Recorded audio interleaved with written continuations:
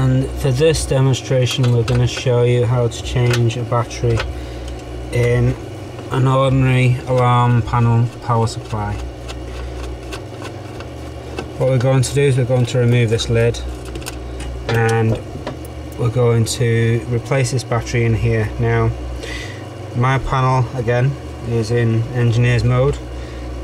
Your panel you may not have the engineer's code so your alarms might go off just simply enter your code and that will silence your alarms.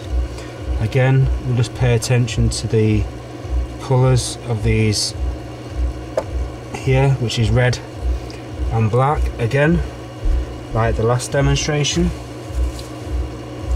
And what I'm going to do with this one is I'm just going to put a date on here so I can just see when it was I last replaced the battery. Notice on the new batteries they have the little protective covers. Remove that.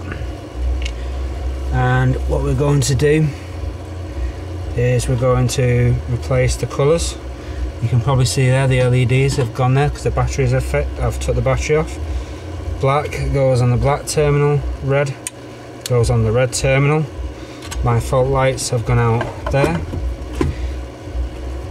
And I've replaced the battery in the alarm panel. Now if you don't have the engineer's code when you've removed this lid your alarm might have gone off on your internal bells for tamper.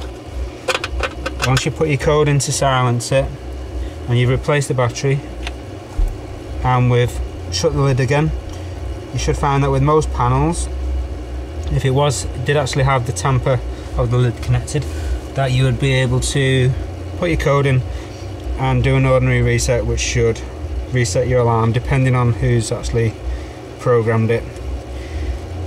Again I've used a plastic slip there just to cover over the terminals.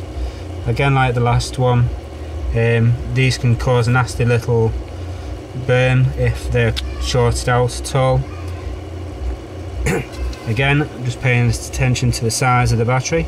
This is a 7.2 ampere hour battery. I've swapped it with a light for light battery. Again, just check when you're actually looking to see about replacing these what size battery it is is in there. If you swap it light for light, you know the the battery is going to fit in the panel.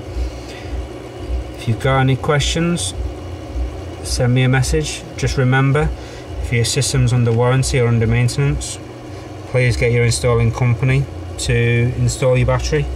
You may invalidate any warranties. Also bear in mind there is mains inside these panels so don't put your fingers where they don't need to go. If you're on doubt, if you're unsure at all, then please seek competent advice. There's any questions, give me a, a message. Thanks.